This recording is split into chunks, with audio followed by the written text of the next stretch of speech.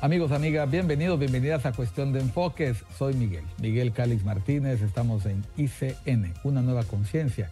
Nuevamente con ustedes para hablar de los temas que hacen portadas y titulares y que usted sigue en nuestras redes sociales de ICN.digital y en nuestros noticiarios en la mañana, al mediodía, en el estelar de la noche. Como usted sabe, en Cuestión de Enfoques, nosotros tenemos distintos puntos de vista, perspectivas, opiniones, los enfoques de los protagonistas de las noticias de las personas que más saben sobre los temas eh, que hacen noticia a nivel nacional, regional internacional. Hoy nos acompaña la buena amiga, la abogada y exdiputada Carla Medal.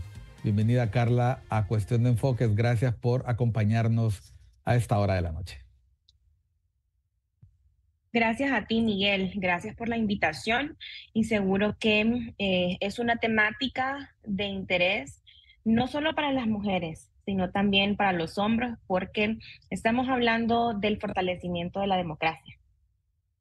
Bueno, efectivamente, vamos a hablar sobre eh, la violencia política contra las mujeres y vamos a conversar si bastará una ley para hacer frente a este desafío de la eh, discriminación, de la violencia que se ejerce a veces de manera sutil, otras veces de forma muy abierta, y que ha quedado en evidencia y relevada en las últimas, eh, revelada, perdón, en las últimas semanas em, con lo acontecido en el Consejo Nacional Electoral, que ha generado un debate importante. Mientras en el país estamos hablando sobre decisiones de la Corte Suprema, eh, donde se han tomado eh, determinaciones respecto a asuntos que no pudieron dilucidarse en el Congreso Nacional o que en la misma Corte Suprema habían tenido otra resolución, me refiero a lo de las zonas especiales de desarrollo, eh, que esto no eh, nos haga olvidar que en las últimas semanas hemos eh, estado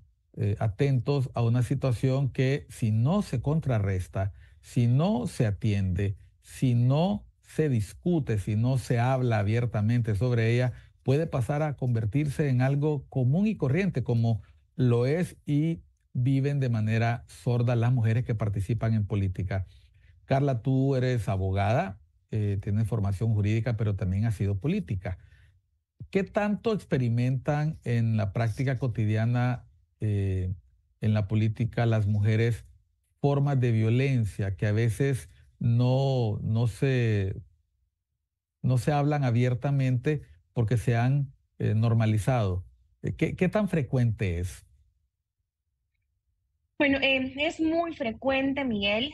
Em, y con tu primer pregunta, efectivamente que la ley no es una varita mágica. Ninguna lo es. Pero sí la ley representa una medida de compensación histórica a favor de nosotras las mujeres y en este caso las mujeres políticas. Y es que eh, es precisamente gracias a reformas en las leyes, aprobación de nuevas leyes, es que número uno, las mujeres podemos ejercer el sufragio. Es precisamente en la ley donde se reconocen derechos como la licencia de maternidad, en la ley se reconocen otros derechos como instalaciones de guarderías o salas de lactancia. La ley entonces es, nos sirve como un mecanismo para regular el comportamiento social, el comportamiento tanto de hombres como de mujeres. La ley también es una herramienta que incluye sanciones para quienes incumplan con directrices que se diseñan para promover una sociedad más justa, para promover condiciones más equitativas, para promover que se respete la dignidad de las personas. Y por eso es que consideramos que es de suma importancia, es sumamente importante aprobar este marco jurídico que regule el comportamiento en el ambiente político. No es normal que mm, en el Congreso Nacional, la mayoría de las jefaturas en la historia hayan sido ocupadas únicamente por hombres. No es normal que en el pasado no haya habido participación de una mujer en comisiones como la Comisión de Presupuesto, como la Comisión de Seguridad. Realidades que reconocemos han cambiado, pero no es normal que se invisibilice el rol de las mujeres en los espacios de toma de, decisión y tampoco es normal que se que día con día se vayan em, viendo esas conductas violentas también pues em, como algo cotidiano. No es correcto la violencia no debe de ser normalizada. Y esto es Miguel y población hondureña, entendiendo que las mujeres representamos el 52%, más de la mitad de la población, y que por ende ese porcentaje debe de estar debidamente representado en los espacios de toma de decisión. Y resalto la palabra debidamente. Debidamente. Carla, una pregunta. Se ha reconocido que a través de la normativa eh, se ha podido avanzar en el cumplimiento y garantía de derechos de las mujeres. Así ha pasado con otros grupos específicos de la población. En su momento eh, no se contaba con derechos laborales. La población salió en un movimiento social importantísimo como la huelga del 54 a reclamar derechos que le eran negados y que se lograron a través de luchas sociales. El voto se obtuvo a través la lucha de las mujeres, de las sufragistas, y se convirtió en una de las demandas de la huelga de 1954, y posteriormente se recuerda la, las jornadas en las que organizaciones eh, de derechos de las mujeres, organizaciones feministas y diputadas sumaron eh, esfuerzos allá a principios del siglo XXI, por el año 2000, para lograr medidas paritarias, para lograr la aprobación de leyes contra la violencia doméstica. ¿Por qué nosotros hemos encontrado eh, esta, este resultado después de luchas sociales, pero no hemos logrado todavía que se asuma por parte de la comunidad política eh, que es necesario luchar juntas por este, por este por este propósito. Y lo pregunto porque en la última semana vimos que se dieron situaciones muy lamentables en el seno del Consejo Nacional Electoral, donde había una abierta confrontación entre eh, personas que atacaban a la presidente del Consejo Nacional Electoral, la abogada José López Osorio, sin siquiera haber eh, asumido el cargo. Es decir, había una, una campaña eh, muy fuerte contra ella en redes sociales y había una eh, entendemos de que puede haber diferencias en un órgano de este tipo, es un órgano colegiado, pero en algún momento parecía tomar las características de una conducta que se reflejaba de esa forma porque la persona que estaba en la titularidad era una mujer o eran las mujeres las que habían tomado una decisión. Lo pregunto porque, a diferencia de los otros temas, vemos poca, poca reacción. ¿Será porque eh, es el efecto de que tengamos una mujer presidente, es el efecto de que las mujeres eh, tengan que batirse eh, de manera igual a los hombres en la política, que hemos normalizado que se vale ofender de palabra o posiblemente con epítetos que no se utilizarían con un hombre cuando se trata de mujeres participando en política. ¿Lo hemos normalizado o también se ha bajado la guardia por parte de las mujeres políticas? se ha normalizado, Miguel. Y lo que sucede es que eh, cada vez se visibiliza más esta situación. Yo tengo muchas anécdotas. Las mujeres que me anteceden tienen más anécdotas. Y yo recuerdo, por ejemplo, em, allá por el 2020, en una sesión en el Congreso Nacional, cuando se discutía el presupuesto general de la República, una de nuestras demandas era exigir al, en aquel entonces fiscal general de la República, así como al presidente de la Corte Suprema de Justicia, que rindiera cuentas sobre los millones aprobados para el fortalecimiento de unidades de investigación de femicidios del Ministerio Público y para la creación de nuevos juzgados especializados en materia de violencia doméstica. Lucha que, dicho sea de paso, em, empezaron las mujeres de organizaciones de sociedad civil. Y recuerdo cómo me sacaron de la sesión, era virtual, entonces por eso es que tenían la potestad para sacarlo, o sea, para sacarme. Me sacaron de la sesión y no me permitieron em, ni siquiera participar en este sentido, es decir, exhortando eh, a ambos titulares de las instituciones que mencioné para que rindiesen cuentas sobre ese presupuesto. Eh, fue, fue un momento sumamente frustrante, traumático, em, pero en este momento yo no lo asocié a violencia política hacia la mujer. Sería, Carla, porque, sería porque es común en el Congreso que le quita la palabra a los diputados. ¿Por, eso pensaste que, que no era algo asociado a tu condición de mujer?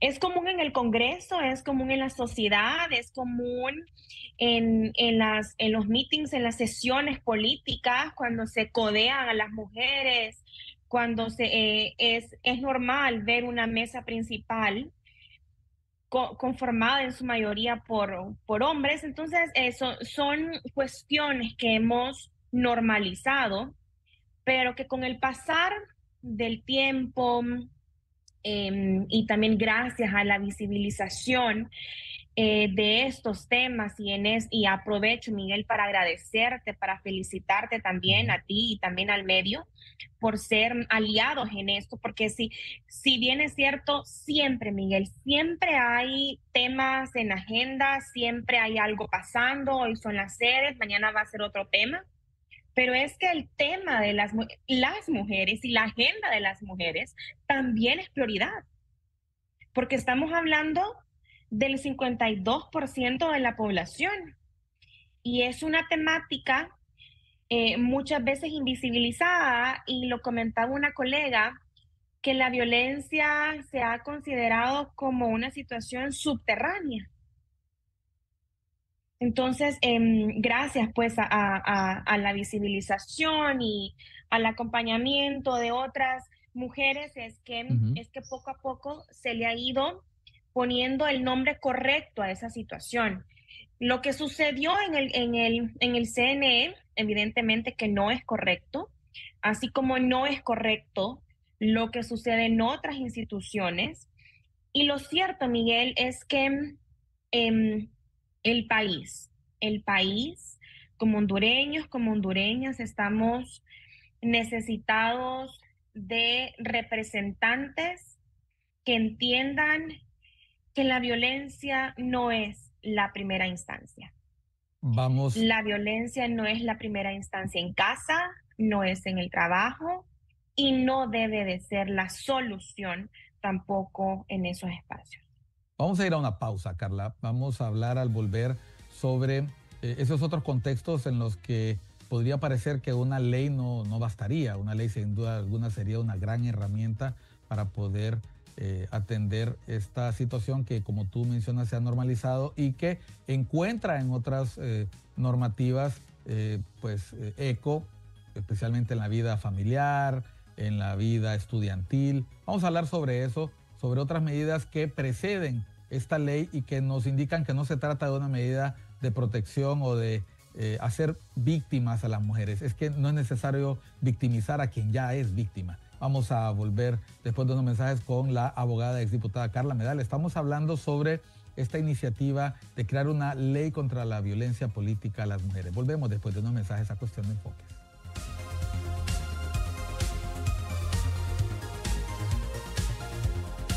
de Enfoques nos acompaña la abogada y exdiputada Carla Medal. Por cierto, Carla quería enviar un saludo para tranquilizar a gente que le está viendo en este momento en algún lugar de la ciudad. Así es, Miguel, gracias. Em, yo siempre he dicho que em, la familia es, es, el eslabón más sólido en la sociedad y como abogada, eh, como política, reconozco que eh, eso no hubiera sido posible sin el apoyo de mi mamá y de mi papá. Y mi mamá, una mujer que es quien me ha inspirado también para luchar a favor de la reivindicación de los derechos nuestros y mi papá quien me ha apoyado desde siempre. Así que gracias Miguel por esta oportunidad. Sí, lo, lo, lo, pregunto porque al inicio me lo decía Carla, pero creo yo lo quiero enlazar. Yo lo quiero enlazar con el tema que estamos hablando. Eh, ¿Tus padres, eh, tu padres, tu madre se preocuparon en algún momento que incursionaras en política precisamente por este ambiente tan hostil? Se preocuparon y se siguen preocupando y me dicen, pero Carlita, ¿cuál es la necesidad de que estés en eso? Porque sin duda, Miguel, es un ambiente eh, completamente hostil. Em, y repito, eh, yo reconozco que he sido una mujer privilegiada. en el hecho de que como candidata a diputada suplente se me haya asignado una colonia en la que hay más de dos pandillas y, y, y otros grupos por ahí, em, no, yo no hubiera podido llevar esa carga y no hubiera podido hacer campaña, eh, por ejemplo, siendo una madre soltera o sin tener el apoyo logístico, económico y demás de mi familia. Y, y, reconozco entonces que con estos privilegios va de la mano también la responsabilidad em, y luchar porque las mujeres que no tienen esos privilegios puedan incursionar en política en igualdad de condiciones. No es lo mismo para un candidato que es actualmente tomador de decisión reelegirse, que se le asigne un barrio, una colonia, ir a hacer política, que una mujer que aspira por primera vez y que va sola. Ese es un ejemplo de la desigualdad y de la violencia política y cómo también es importante el apoyo de la familia. A ver, Carla, has mencionado un contexto. El contexto en general del país es una cultura en la que la violencia es una forma normal de, de, relacionarse, se resuelve a golpes, la gente cuando tiene un problema de tráfico, la gente resuelve a golpes las dificultades de vecinos, tenemos una necesidad importante de fomentar una cultura de paz. Ahora, eh, antes de, la, de, la, de, esta ley que se está proponiendo y que todavía no logra eh, ser discutida en el Pleno, tenemos entendido que hasta se ha contado con la visita de importantes promotoras de esta iniciativa, como la ex presidenta de Chile, Michelle Bachelet, que vino a instancias de ONU Mujeres precisamente para hacer conciencia de la importancia de que las mujeres puedan participar en política con respeto de sus derechos en un ambiente donde no haya violencia tenemos medidas que han precedido esto. Ahora, ¿cómo podemos eh, contrarrestarla más allá de una ley? Porque estamos hablando de un tema cultural. Tú mencionabas el, tema de, que hacer política en un barrio no es fácil, eh, no digamos la cultura machista en las zonas rurales, donde la mujer normalmente tendría que ir acompañada de un hombre para hacer política o eh, muchas veces pone en se pone en juego el patrimonio familiar, el patrimonio eh, eh, de la... La vida, Miguel. La vida. La vida. Y, esa es una decisión que normalmente toman los hombres y no toman las mujeres. Hay una serie de aspectos culturales. ¿Cómo esta ley puede colaborar para que estos eh, aspectos culturales vayan cediendo y cómo podemos hacer para que no se interprete como una iniciativa para evitar que algunas candidatas reciban ataques de la oposición o de los contendores en la lucha política. Lo digo eh, específicamente porque al menos uno de los partidos eh, mayoritarios muy probablemente tendrá una candidata mujer. ¿Cómo hacer para que no parezca que se trata de una medida para proteger a unos en detrimento de otros? Partamos de la siguiente premisa, Miguel. Y es que no se trata de que las mujeres tengamos costos por participar en política. La participación en política no se trata de que tengamos costos por tomar esa decisión valiente de participar en política. ¿Cómo, costos? El costo de perder la vida, el costo de ser invisibilizada completamente, el costo de que te pregunten cómo vas a tener tiempo para participar en política, pero también para hacer desayuno, almuerzo y cena, el costo de que te cuestionen si por el hecho de ser política y de invertir tiempo en, el servicio, eh, vas a ser una mala madre o sos una mala madre. El costo de que te cuestionen si por estar en política vas a desatender tu matrimonio. El costo de que se confunda la vida privada con la vida pública.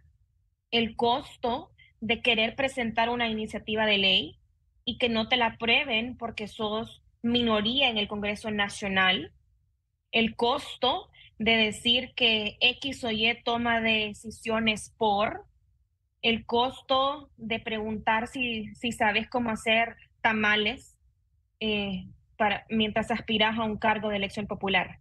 Hay muchos costos. ¿Eso último te lo preguntaron alguna vez? Me preguntaron que si sabía cómo hacer tortillas de harina. Afortunadamente sé, porque mi madre, a quien le llamo Chef Queen, cocina súper bien. Entonces, afortunadamente, eh, pues, pues, si bien es cierto, quedan duras, pero afortunadamente sí sé cómo son. Em, pero ¿qué, ¿qué tiene que ver si yo puedo hacer baleadas con mi capacidad para tomar decisiones o representar em, a la población? Entonces, partimos de esa premisa, ¿verdad? Y lo otro, Miguel, es que históricamente las mujeres hemos tenido que justificar el porqué de derechos y leyes a favor nuestro. En esta ley se presentó por primera vez en el Congreso Nacional en el 2013, por segunda vez en el 2018, por tercera y cuarta vez 2019-20 em, y como por quinta vez eh, hace un año. ¿11 años ya? 11 años, Miguel que primero no se aprobaba porque se decía que la ley iba con nombre y apellido para afectar a X o para beneficiar a Y. Ha sido el, mismo discurso. La iniciativa se ha presentado por congresistas de tres, de cuatro fuerzas políticas diferentes. Se ha politizado y es lo que históricamente ha sucedido es lo que históricamente ha sucedido que, tenemos que defender el porqué de aprobar una ley a favor nuestro. Pero bueno, em, lo, comprendemos em, y estos espacios para esto son, para explicar una vez más el porqué de la importancia. Así que abierta a cualquier pregunta con respecto a la normativa. O sea, vamos a ver, volvamos al ejemplo de hacer baleadas. O sea, yo quiero, quiero ponerlo con ejemplos prácticos. Es común en nuestro país que a la mujer que participa en política eh, se le saque a bailar su vida privada, si es amante, mujer o subió al puesto eh, como consecuencia de la relación con un hombre. Yo no recuerdo que eso pase con los hombres, que se diga fulano está ahí porque está casado con alguien. O sea, eso, no suele ocurrir. Y tampoco se convierte en un tema de discusión pública. En el caso de, la, de, hacer tortillas eh, de harina, yo, no recuerdo nunca haber escuchado a ningún, a ningún candidato que tuviera que justificar sus habilidades culinarias o en la casa o en el cuidado de los hijos para poder aspirar a ese tipo, a ese tipo de, de señalamientos te refieres, Carla. Por favor, contéstame al volver. Vamos a ir a una pausa ahorita porque eh, podemos hacer un, recuento de situaciones que hemos, como tú mencionas, normalizado, pero que se convierten en el espacio y en el discurso político en ofensa y en una forma de minimizar el potencial, el rol y la capacidad de las mujeres. Volvemos después de unos mensajes con la abogada Carla Medal. Ella es eh, profesional del derecho y exdiputada. Volvemos después de unos mensajes.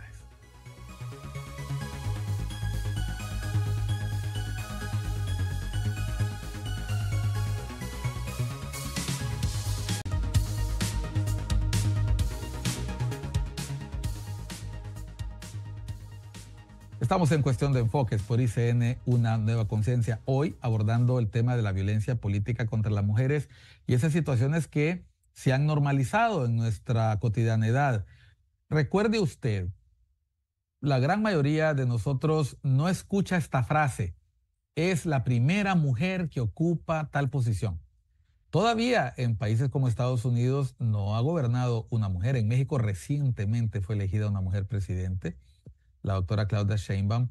En Centroamérica eh, ya han tenido eh, presidentas eh, Nicaragua, Costa Rica, Panamá, Honduras. El Salvador todavía no ha tenido una mujer ni tampoco, ah, y tampoco Guatemala. Es estamos hablando de países que todavía no han logrado romper ese techo. Y en el caso de Honduras, hasta la elección pasada, la del 2018, 2022, 2017, por primera vez algunos departamentos como Intibucá tuvieron por primera vez una diputada y eh, creo que recientemente el Empira ya rompió ese techo también. Hay, hay departamentos en Honduras donde no ha habido mujeres diputadas. El Congreso Nacional nunca ha sido presidido por una mujer.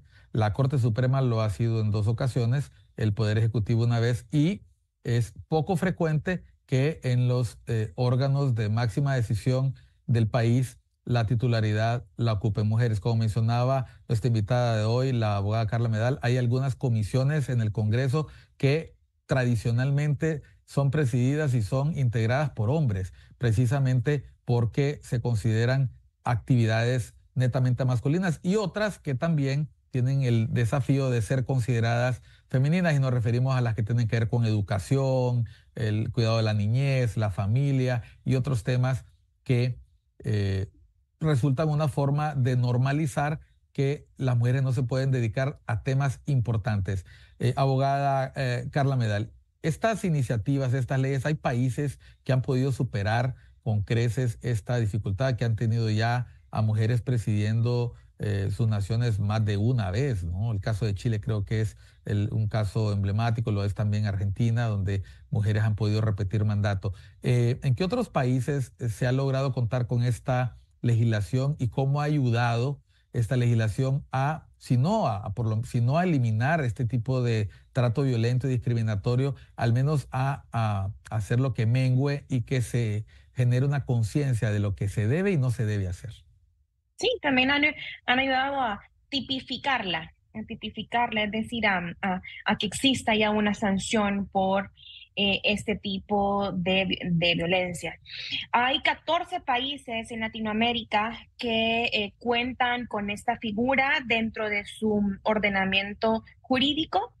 Seis eh, la incluyen en una legislación específica, es decir, que existe una ley especial para prevenir, sancionar y erradicar la violencia contra las mujeres en la vida política. Hay cuatro eh, que lo incluyen eh, como un, un capítulo dentro de la ley electoral. Em, y hay, hay otros que lo incluyen en diferentes normas. Por ejemplo, una la incluye en el, en el Código Penal, eh, así en diferentes leyes. En Honduras, en la sesión del pasado 8 de marzo, gracias al esfuerzo de las mujeres Em, de sociedad civil y a las congresistas, se incluye por primera vez este tipo de violencia en la ley para las casas refugio, que son albergues que acojan, eh, que acogen y que reciben a mujeres sobrevivientes de todos los tipos de violencia, incluida la violencia política. Entonces, esto es para celebrar, eh, pero bueno, estamos también apoyando a las diputadas y trabajando con ellas y con las mujeres de organizaciones de sociedad civil para que Honduras sea eh, el país número siete eh, que cuente con una ley específica y repito, para prevenir para sancionar y por ende para erradicar este tipo de, violencia. Algunos de los países... ¿Qué países son? Sí, exactamente. Sí, ¿qué países son? Algunos de los países son Bolivia, que la aprobó en el 2012, Brasil en el 2021, Panamá también en el mismo año, Costa Rica un año más tarde en el 2022, México en el 2020 eh, y ha reformado alrededor de ocho leyes en este sentido. Ecuador y República Dominicana en el 2023 reforman la ley electoral e incluyen esta figura. Además de Chile, de Venezuela, de Uruguay, en, Costa Rica eh, y El Salvador. Es decir, que en Centroamérica, El Salvador y Costa Rica, uno desde el 2020, otro desde el 20 21 o 22 cuentan con esta normativa. En caso de aprobarse, Honduras sería el tercer país centroamericano que contaría con esta ley especial. Es decir, no estamos hablando de una medida que venga impuesta eh, por eh, sociedades eh, ajenas a la región. Estamos hablando de normativa, porque se suele criticar alguna normativa que solo se adapta y se adopta en el país, dejando por fuera elementos de contexto, culturales. Aquí estamos hablando de que hay un reconocimiento de una situación. ¿Por qué lo que pasó la semana pasada, lo que ocurrió la semana pasada en el contexto de la presidencia de la abogada Cosette López Osorio se convierte en una oportunidad para visibilizar el, desafío que representa la violencia política? Lo, lo menciono porque cuando se empezó a hablar de todos los ataques que en redes sociales e incluso en medios de comunicación se hacía contra ella, eh, surgió la, respuesta por parte del oficialismo que decía, nosotras hemos estado viviendo esto los últimos años, no justificamos lo que pasa eh, de esta manera con ninguno otro partido. Para mí no tiene que ver con la postura ideológica. Eh, tan malo es cuando se hace con un partido de uno u otro signo. ¿Por qué es una oportunidad que no debemos dejar pasar? Sí, sin duda, Miguel, y es que la violencia no tiene color político y la violencia política no es la excepción. Em, la ley incluye seis manifestaciones de violencia política contra las mujeres, entre ellas la violencia psicológica, la violencia mediática, sexual, económica, física y simbólica. Y eh, la, esta ley define la violencia simbólica como esta conducta que tiene como finalidad deslegitimar a la mujer a través de estereotipos, donde se niega, desconoce o minimiza sus habilidades para participar en política. Entonces, eh, se han escuchado comentarios como que no tiene la capacidad para este cargo, en, ese y también en otros escenarios.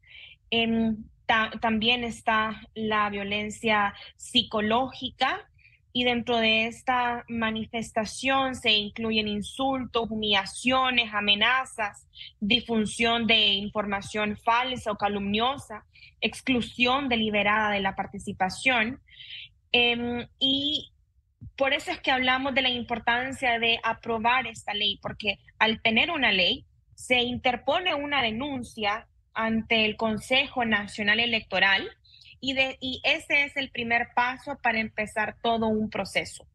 Un proceso que, que incluye la carga de la prueba, por ejemplo. Es decir, que, si se presenta una denuncia es porque se tiene una prueba, em, así como incluye en materia civil, en laboral, en mercantil, en penal.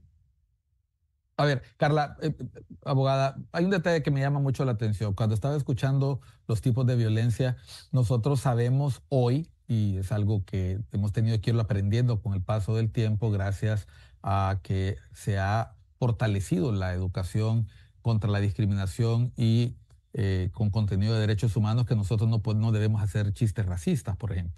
Todos estos chistes que se hacían de las personas afro, afrodescendientes, eh, que incluso haciendo mofa de la forma de hablar, de la forma en que se conducen con elementos culturales o hacer bromas de la población, de la diversidad sexual, de la población LGTBI, eh, que cada vez son menos eh, tolerados en algunos ambientes, en algunos espacios y son sancionados. Cuando vemos que se ha avanzado en el reconocimiento que este tipo de, bromas, chistes y contenidos discriminatorios eh, no deben ser parte del día a día, se me viene a la mente el, comentarios como los que se hacen de las mujeres que participan en política. Por ejemplo, eh, ¿qué anda haciendo esta mujer aquí? Debería andar cuidando a sus hijos, debería estar eh, con su marido. Eh, eh, ahí te van a quitar la mujer, fulano, porque anda politiqueando, o uno que escuchó, y lo vamos a poner solo como Isa, a, Isa de ejemplo, porque seguramente más de alguno, más de alguno de ustedes lo ha escuchado, si las mujeres reclaman más espacios, pues hay que ampliarles la cocina. O sea, nosotros hemos escuchado ese tipo de bromas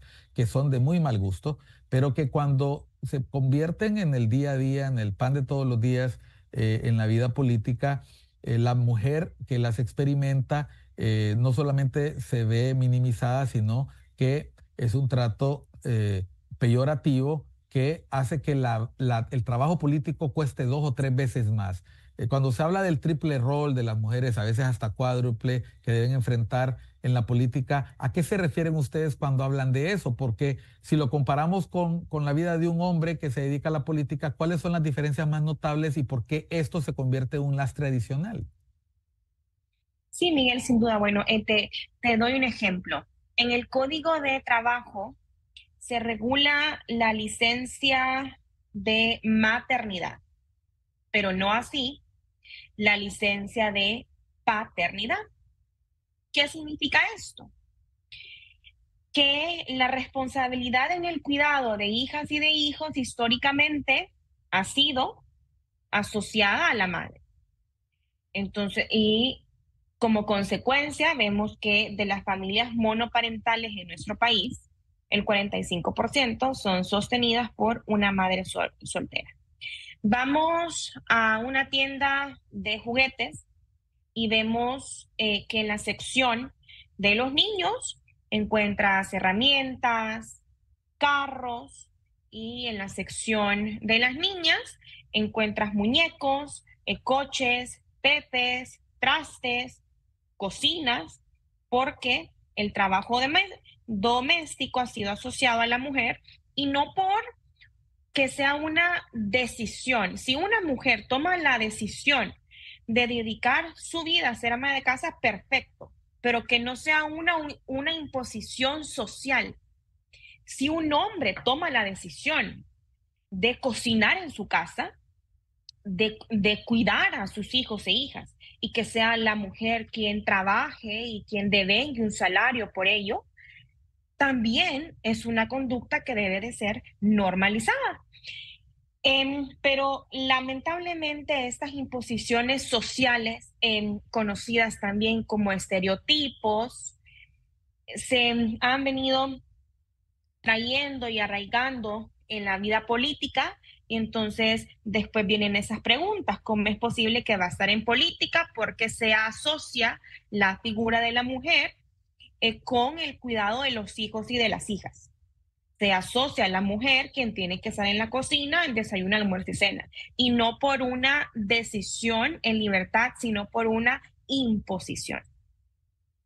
Bueno, vamos a ir a la última pausa. Estamos hablando sobre eh, ¿Puede una ley parar la violencia política contra las mujeres? Creo que ya la abogada nos lo ha explicado. Es una herramienta al menos. No, no basta, pero es una herramienta importante como lo fue en su momento establecer normativa para el cuidado, perdón, para el descanso pre y postnatal, eh, para las horas de lactancia, el hecho que haya guarderías, el hecho que se eh, reconociera que las mujeres tenían la igualdad del voto eh, y la participación política es una herramienta que puede servir para eh, poner en cintura a aquellos que creen que pueden decir y hacer cualquier cosa contra una mujer que participa en política. Volvemos después de unos mensajes al último segmento de Cuestión de Enfoques. Vamos acá.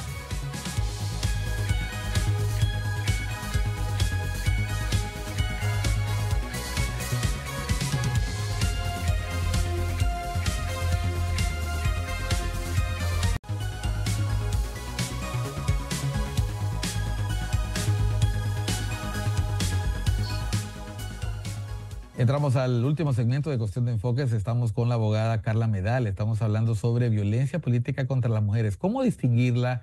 ¿Qué se ha hecho en otros países? ¿Qué se intenta hacer en el nuestro? Mencionábamos en el segmento anterior alguna serie de epítetos, eh, comentarios que se hacen sobre las mujeres que participan en política, que usted ha escuchado, que quizás usted ha repetido y que incluso algunas mujeres repiten y han normalizado, eh, demeritando el papel que la mujer puede y debe jugar en la representación política, como lo dice la abogada Carla Medal, exdiputada y profesional del derecho, y que ha estado impulsando desde hace varios años con otras mujeres vinculadas a, organizaciones de mujeres, mujeres políticas, organismos internacionales, una serie de iniciativas, pues buscando la forma de que primero se tome conciencia de que es necesaria, segundo, de que entre a discusión en el Congreso Nacional y tercero, finalmente que se apruebe.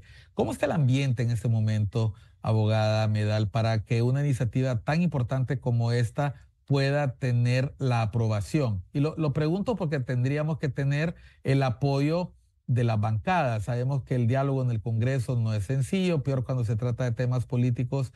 Eh, ¿Cómo está el ambiente? Eh, eh, ¿Nos vamos a ir este cuatrienio sin ley, o todavía existe la posibilidad de que a la vista de los acontecimientos de las últimas semanas y lo que se puede venir en la próxima campaña, se abra una ventana de oportunidad para la aprobación de esta importante normativa?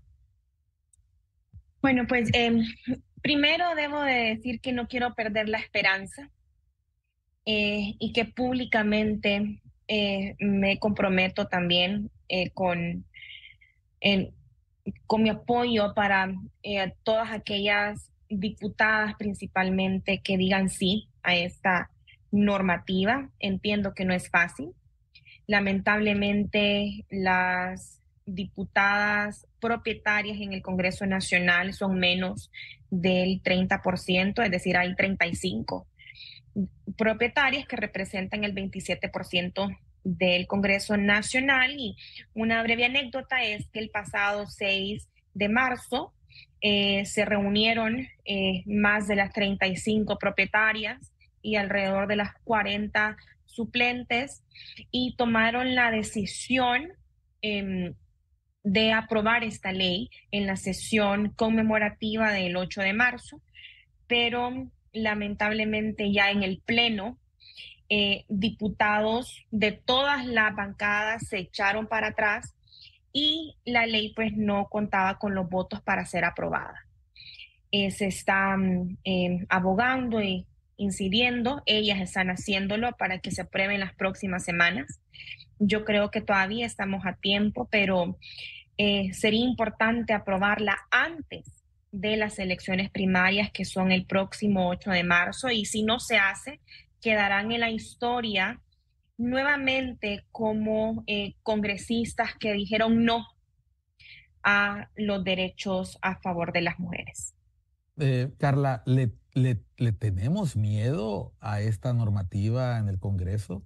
¿Se teme que con ello eh, pueda censurarse, castigarse, cuestionarse, señalarse a, a, cualquier persona, hombre o mujer, que utilice este eh, estas prácticas que han sido normales eh, eh, en la actividad política, ¿le tienen miedo los políticos a que se les diga hasta aquí, de aquí no puede pasar? Esa ha sido una de las consignas nuestras, y es que quien nada debe, nada teme. Estamos apelando em, a, los, a los diputados cuyos votos se necesitan en este momento para su aprobación Em, que, reconocemos que han sido aliados, porque sí los hay, Miguel, sí los hay. Hay diputados que han sido aliados nuestras, em, eh, nuestros, y apelamos entonces em, para que digan sí, sí a ello.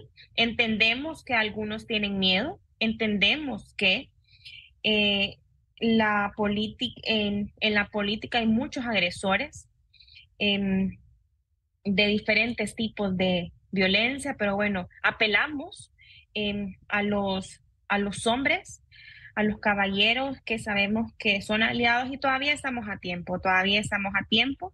Sería también histórico eh, que se apruebe una ley que ha sido introducida a, a ese poder del Estado ya por cuarta o quinta vez.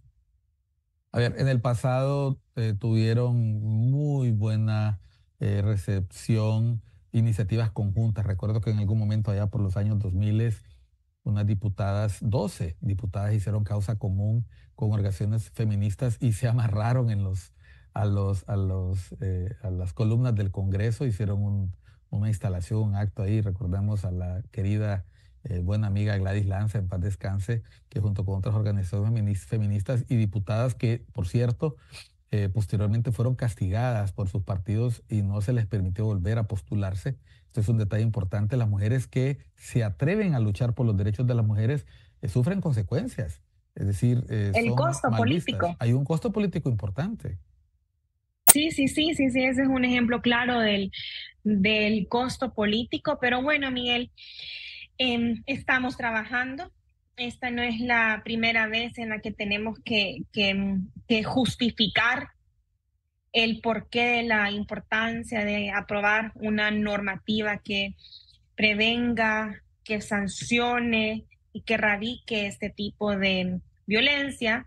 Y bueno, pero también para esto se necesita el apoyo, como ya lo mencionábamos, de los medios de, de comunicación, de la ciudadanía, de la población en general.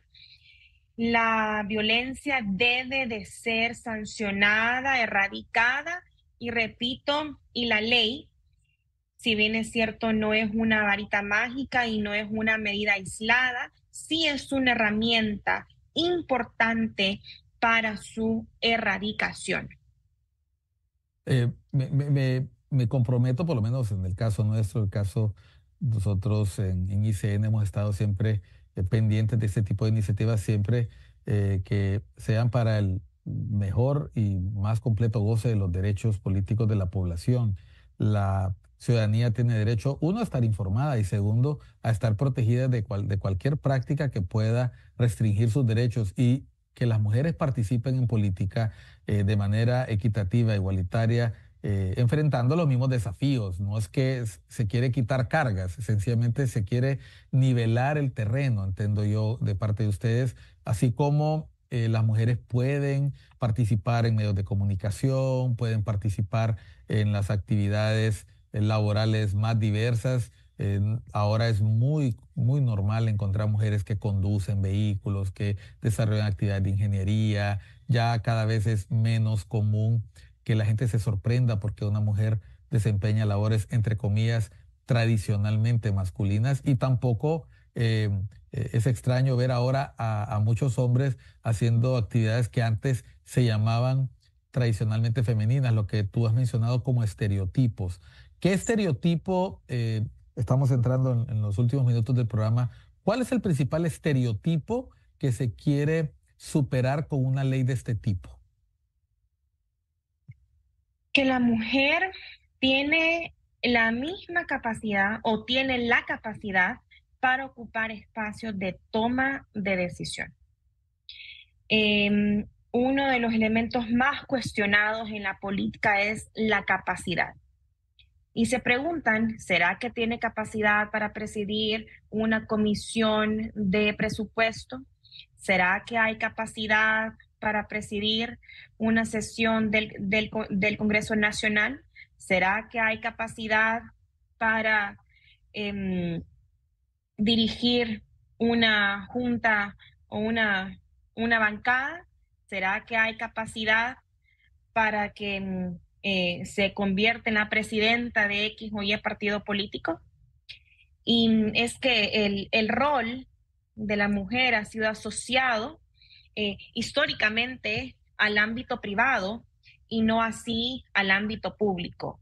Y como decíamos, Miguel, em, históricamente hemos tenido que, acudir a esas medidas de compensación histórica. Si nos remotamos al código de Hammurabi, dos de sus leyes mandaban que si un hombre iba ante un tribunal y, resolvía que la mujer había tenido algún tipo de conducta indebida, podría reducirla a cosa. Una cosa, Miguel, eh, o sea, esta, este es un papel, esta es una cosa que lo rompo, que lo tiro, y el código de Amurabi decía que ante un tribunal se podía reducir a una mujer a cosa o a esclava.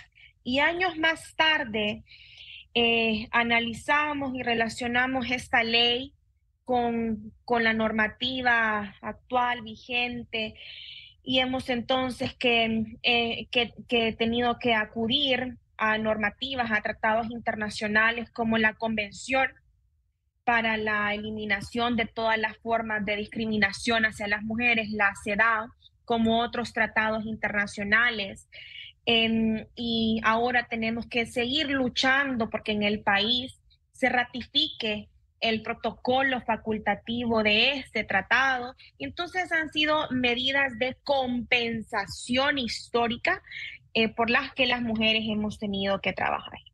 Bueno, el Código de Hammurabi es un documento, bueno, es, es una pieza eh, eh, que quedó evidenciada su presencia en piedra, pero de 1700, 1800 antes de Cristo, sumémosle los 2000, estamos hablando de una norma de más de 3000 años eh, no puede eh, en la modernidad seguirse apelando a, argumentos del pasado. Nos quedan dos minutos, dos minutos, em, Carla, para eh, mandar un, mensaje final a la población, a las personas. ¿Cómo pueden las personas conocer el proyecto, enterarse del proyecto, algún lugar donde se pueda em, leer, se pueda conocer un poco más, alguna página para que las personas salgan de dudas eh, de qué se trata y empiecen a sumarse al, al, apoyo que una iniciativa esta, de esta naturaleza debería contar, así como en su momento se contó con apoyo para otras de igual naturaleza que protegían los derechos de las personas?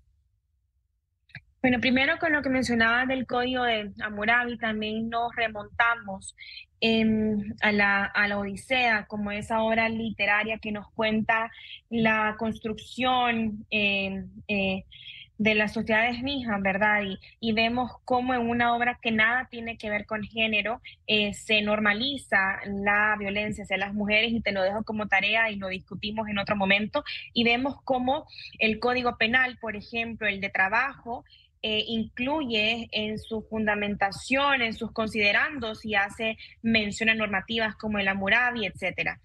Em, con respecto a la, eh, a, la, a la otra pregunta, Miguel, de las diputadas valientes y comprometidas y eso en coordinación con la cooperación internacional han desarrollado ya varias actividades eh, con, con, representación de diferentes sectores de la sociedad. Se han compartido panfletos, presentaciones, hay resumen de esta iniciativa y con gusto te la compartimos y también con gusto compartimos otro espacio para hablar sobre el articulado de la ley, conocer, por ejemplo, el procedimiento, las sanciones que se tipifican dentro de la normativa, las sanciones de, tipo administrativo y que esto es importante mencionarlo.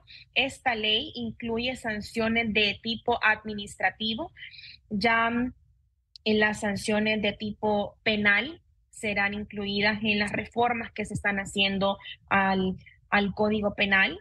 Em, pero sí es, es, es interesante conocerlo y lamentablemente por el tiempo ya no lo vamos a poder profundizar, pero nos queda de tarea para un siguiente programa.